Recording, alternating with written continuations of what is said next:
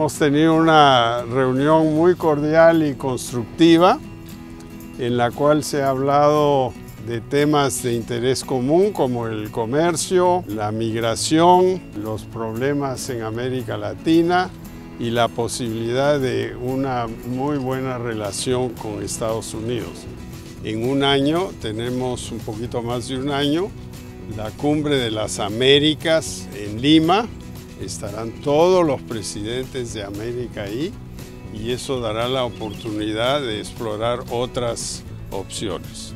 La posición del Perú es de un amigo de América Latina, somos miembros de América Latina, apoyamos la democracia y haremos todo lo posible para que prevalezca la democracia y el bienestar en todos los países de América.